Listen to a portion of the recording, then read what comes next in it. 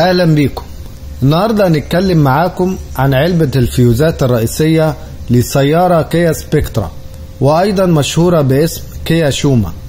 هذه السيارة من موديلات كيا القديمة وزي ما أنتم شايفين العلبة الرئيسية مكدسة بالفيوزات والريليهات ولأن هذه العلبة ثابتة في أغلب الموديلات لسنوات طويلة لذلك قد تجد بعض الفيوزات لا تستخدم في بعض الأماكن. ومن ال data على غطاء علبة الفيوزات توضيح لأسماء ووظائف كل جزء في العلبة.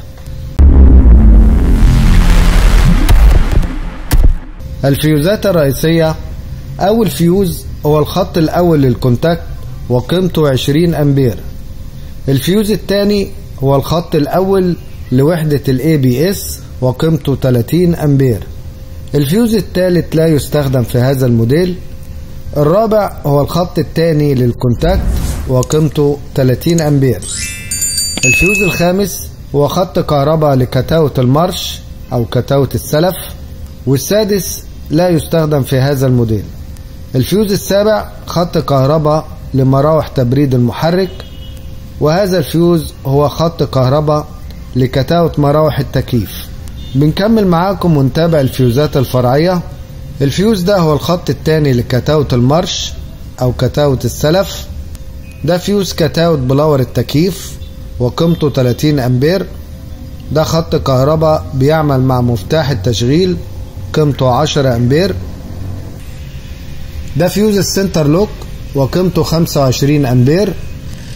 فيوز الانتظار وقيمته 15 أمبير. هذا الفيوز يستخدم في حالة وجود بانوراما السقف وقيمته 15 أمبير. الفيوز الأخير في هذا الجزء خط كهرباء بيصل لوحدة ال ABS وقيمته 30 أمبير. ده فيوز ماكينات زجاج الأبواب جنب يمين.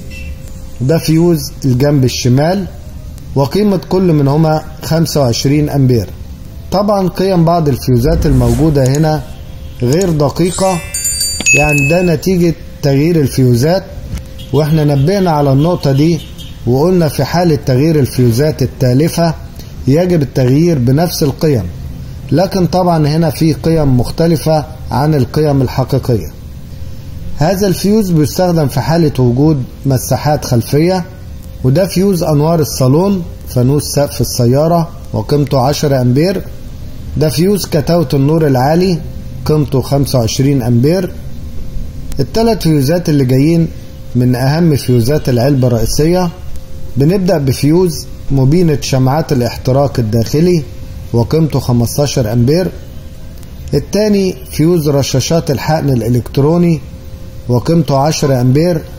الفيوز الثالث فيوز مضخة البنزين وقيمته 10 أمبير.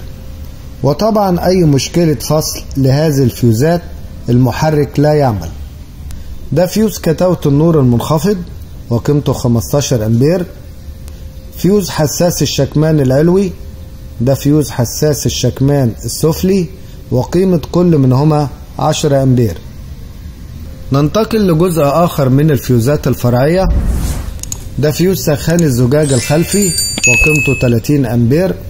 ده فيوز سخان المرايات قيمته 10 أمبير. ده فيوز أنوار الضباب فوجات الخلفية. قيمته 15 أمبير. وهذا الفيوز لا يستخدم في هذا الموديل. ده فيوز النور المنخفض قيمته 15 أمبير. ده فيوز النور العالي قيمته 15 أمبير. وده فيوز النور الصغير شمال فيوز النور الصغير يمين وقيمة كل منهما 10 أمبير. ده فيوز أنوار الضباب الأمامية الفجات قيمته 15 أمبير. وآخر فيوزين معانا. هنا فيوز switch التكييف قيمته 10 أمبير. وده فيوز الكلاكسات قيمته 15 أمبير.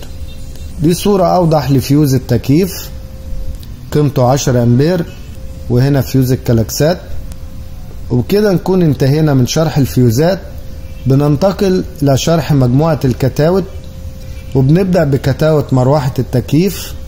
اللي بعده cutout مراوح تبريد المحرك وده cutout السلف أو المارش كتاوة مراوح بلور التكييف cutout النور العالي للمصابيح الأمامية وده ال cutout الرئيسي. هنا cutout مضخة البنزين وطبعا لو في أي مشكلة في هذا ال cutout المحرك لا يعمل. cutout compressor التكييف وده cutout الكلاكسات cutout سخان الزجاج الخلفي cutout النور المنخفض للمصابيح الأمامية وده cutout ماكينات زجاج الأبواب. ده كان آخر cutout معانا في العلبة الرئيسية. أتمنى أن يكون الشرح واضح وبسيط. وبكده نكون وصلنا لنهاية الحلقة. بشكركم وإلى اللقاء.